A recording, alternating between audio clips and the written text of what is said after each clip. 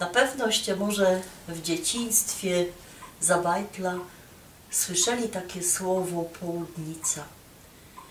Dejmy na to, jakście byli na wsi, u jakiej ciotki albo babki, to ona wam podała tak, dej se pozór, nie chodź bez południe przez pole, albo bez cmentarz, bo cię porwie południca.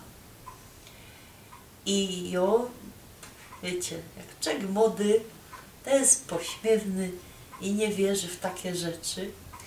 Jak mi to babka go dali, to ja uważała, że ona, no, że mu. Ale tak się stało, już mnie nie zawodzę, tak się stało, że mu koleżanka, która mieszka na wsi i ją tak czasami próbuje wydostać od tych ludzi, może mają jakieś prawdziwe y, zdarzenia, zdarzenie jest prawdziwe, ale takie, że nie skonfabulowane.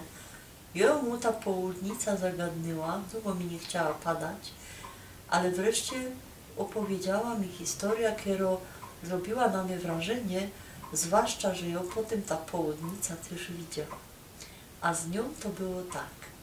Ona mieszka blank przy cmentarzu, także murek, który jest przy y, jej posesji, to za tym murkiem jest tam zarostki cmentarz. I ona się bardzo często chodziła e, na skróty. Jak Kasi chciała iść tam, to ona miała taką drabinę przystawioną do tego murku, leciała bez, ta, e, bez ten cmentarz i też słyszała takie powiedzenie, żeby ona tam nie chodziła, bo jej się coś ich stanie. I jak miała pora roków, siedziała się na murku, a matka ją ostawili y, na gospodarce, poszła jakaś krowa odpiąć i ta dziążka se siedziała na tym murku, było piękno, y, taka pogoda, połednie było i Łoros, przedstawcie się, ona uwidziała taką masno, wielką postać, tak choby słup takiego białego dymu, tak jak mi padała, o średnicy kajsik, prawie że 80 centymetrów, a wysoki na 3-4 metry, jakby się ten słup bez ten cmentarz przesuwał. I ja ją zapytałam, bo ja chciała wiedzieć, czy ona najpierw słyszała o tych południcach, a potem ją uwidziała, czy też ona pierw y, uwidziała południca, a potem dopiero się to stało. No i się pokazało, że ona to pierw uwidziała. Ona się tego czegoś tak okropnie wylękła, ale nie poradziła się z tego murku, była jakby ją co skamieniało, sparaliżowało, a ta postać, ten słup, on się tak przesuwał, przesuwał, przesuwał, przelos bez całkiem cmentarz.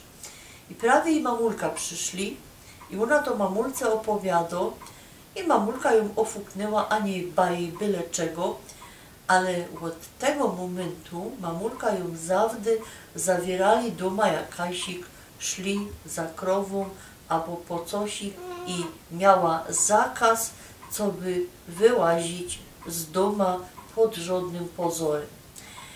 To była historia, którą ona mi opowiedziała dopiero wtedy, jak ją sama przeżyła coś, no cicho kocie.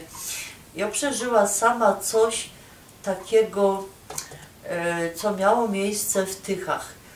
Bardzo często chodza e, po lesie, jeździła po lesie na rowerze, to ścieżki rowerowe, znomie i ja się, e, no znowu każdy kąt i też we południe, to znaczy to nie było południe, to była pierwsza po południu, no ale jakby my tak ten czas wzięli przesunięty, to to było 12.